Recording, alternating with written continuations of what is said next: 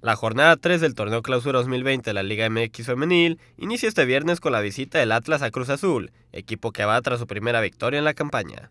Después de dos fechas, las celestes se ubican en el puesto 13 de la tabla general, con un punto que consiguieron en la jornada 1 al empatar a dos goles con Chivas. Sin embargo, la semana pasada perdieron en casa una edición más del clásico joven ante el América. Por su parte, Atlas inició la campaña de la mejor manera. Es el líder de la tabla general con 6 unidades, a consecuencia de los triunfos ante Necaxa y Monarcas. El duelo que inaugurará la tercera fecha del campeonato femenil se llevará a cabo mañana a las 15.45 horas en el estadio 10 de diciembre y bajo las órdenes del árbitro central Lucila Venegas, informó Alan Alvarado.